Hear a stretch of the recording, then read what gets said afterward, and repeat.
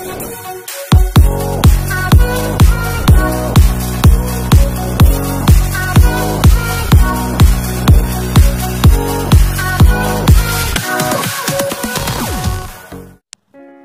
Welcome to food species आज की जो हमारी रेसिपी है, बड़ा ही हेल्दी सा रेसिपी है। आज हम बनाएँगे मार्बल केक वो भी गेहूँ के आटे से। ये बच्चों के लिए एक बड़ा ही अच्छा सा स्नैक्स है। हम स्कूल टिफ़िन में भी इसको भर के दे सकते हैं। तो इसको हम ओवन में बेक नहीं करेंगे। आज हम गैस में इसको बेक करेंगे। तो चलिए रेसिपी देखिए। चार कप गेहूँ का आटा मैंने लिया है। इसमें करीबन डेढ़ किलो का केक बन जाएगा।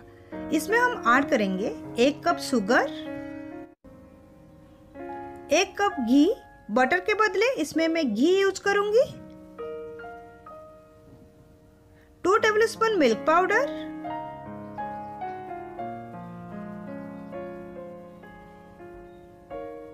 vanilla essence चार पाँच बूंदे? आप कोई भी फ्लेवर का एसेंस आपकी पसंद के हिसाब से ऐड कर सकते हो। थोड़ा सा मिक्स करके थोड़ा थोड़ा करके गुनगुना दूध डाल के बैटर तैयार करेंगे।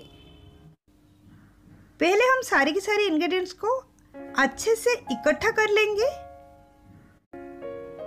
फिर थोड़ा थोड़ा करके दूध डाल के बैटर तैयार करेंगे। एक साथ सारी की सारी दूध को हमको नहीं डालना है, नहीं तो फिर आटे में गुटलिया आ सकता है। अगर बैटर में गुटलिया आ गया तो वो अच्छे से नहीं खुलेगा और फिर केक भी अच्छा नहीं बनेगा। तो अभी सारी की सारी इंग्रेडिएंट्स को मैंने इकट्ठा कर लिया है। दो से तीन मिनट तक इसको हम बीट करेंगे। आप चाहे तो बीट करने के लिए हैंड मिक्सी भी यूज़ कर सकते हो।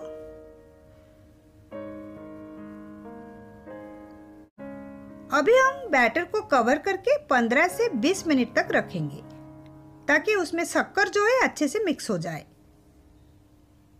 एक बड़ा सा पतीला मैंने लिया है इसमें हम केक को बेक करेंगे।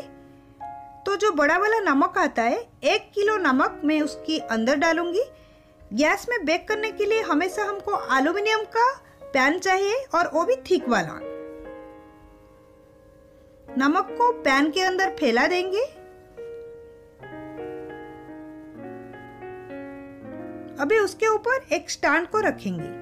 ये नॉर्मल घर में जो बर्तन वगैरह रखने के लिए जो हम यूज़ करते हैं, उस टाइप का स्टैंड है। अभी हम पैन को कवर कर देंगे और स्लो फ्लेम में इसको प्रीहीट होने देंगे 15 से 20 मिनट तक। 15 मिनट हो चुका है। बैटर भी अच्छे से सेट हो चुका है। तो अभी हम इसमें ऐड करेंगे। बेकिंग पाउडर और बेकिंग सोडा। डिटेल इंग्रेडिएंट्स के लिए आप डिस्क्रिप्शन बॉक्स चेक कीजिए। उधर सारी की सारी इंग्रेडिएंट्स, उधर सारी की सारी इंग्रेडिएंट्स लिखा हुआ है और आप रेसिपी के लिए मेरे website food species by Jyoti dot com भी सर्च कर सकते हैं। एक दो मिनट के लिए फिर से एक बार बीट कर लेंगे।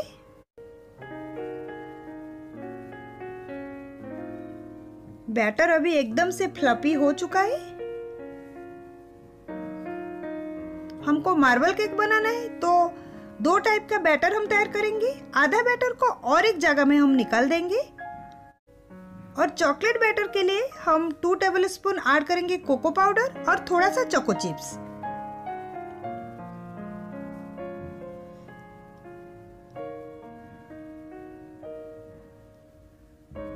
अच्छे से मिक्स कर देंगे। अभी दोनों बैटर तैयार हो चुका है। हम थोड़ा सा स्प्रिंकल से भी ऐड करेंगे व्हाइट बैटर में, जो कि वैनिला फ्लेवर्ड बैटर है, उसमें थोड़ा सा स्प्रिंकल्स ऐड करेंगे, ताकि वो थोड़ा सा कलरफुल दिखे। मिक्स कर देंगे। ये एक एल्यूमिनियम पैन है, इसमें हम बेक करेंगे। थोड़ा सा घी लेके पहले पैन को ग्रीस कर लेते हैं।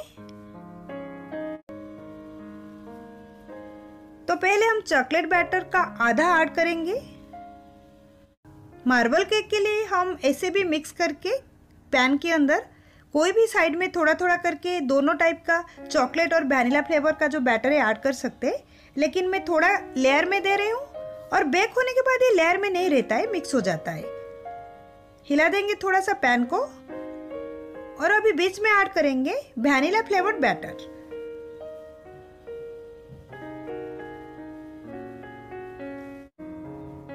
इसको भी थोड़ा सा स्पून में फैला देंगे, जैसे कि चॉकलेट बैटर के ऊपर अच्छे से एक कोटिंग आ जाए वैनिला फ्लेवर बैटर का। पैन को थोड़ा सा हिला देंगे। अभी सबसे ऊपर ऐड करेंगे चॉकलेट बैटर को। चॉकलेट बैटर को मैंने ऐड कर लिया है। ऊपर से थोड़ा सा चको चिप्स डाल देंगे। बीस मिनट हो चुका है। नमक गरम हो चुका है। तो अभी इसके अंदर हम बेकिंग पैन को रखेंगे।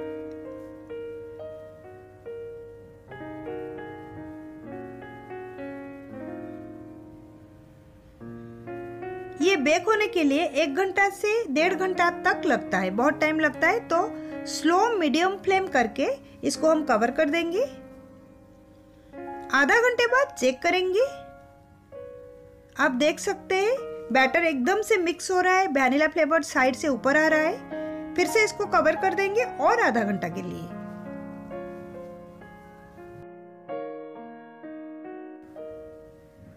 केक को बेक करके एक घंटा हो चुका है। आप देख सकते हैं, पतीले के ऊपर तक केक आ चुका है, फिर भी बीच में से बैटर दिख रहा है। तो फिर से 15-20 मिनट तक इसको कवर कर लेंगे।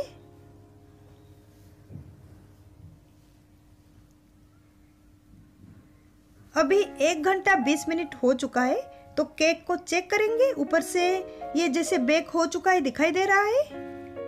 टूथपिक क्लीन निकल आया, इसका मतलब केक हो चुका है। तो रूम टेम्परेचर में आने तक इसको ठंडा करेंगे। केक अभी रूम टेम्परेचर में आ चुका है तो पतीले से इसको निकाल देंगे।